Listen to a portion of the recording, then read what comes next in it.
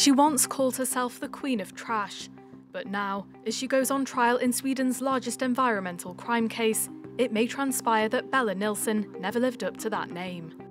Nilsson is the former chief executive of Think Pink, a once lauded waste management company hired by construction businesses, municipalities, and individuals to dispose of everything from building waste to toys. But according to prosecutors, it left mounds of waste abandoned with no plans to process it.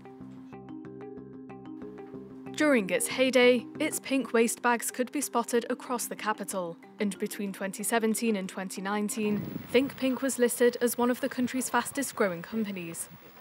But the tide turned in 2020 when the company's owners were arrested.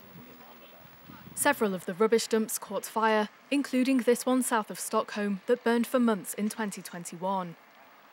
According to the charge sheet, the way Think Pink mismanaged waste resulted in harmful levels of arsenic, lead, and other chemicals being released into the environment. A preliminary investigation ran to tens of thousands of pages. 150 witnesses are to testify in the trial that kicked off on Tuesday.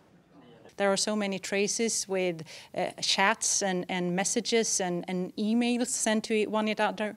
So I have never seen anything like that, like 44,000 emails in one computer. I think it's the coming generations that will pay for this crime. The damage that we will see in generations' time, uh, that we can only guess. Now bankrupt, Think Pink is accused of dumping at least 200,000 tonnes of waste in 21 locations across Sweden.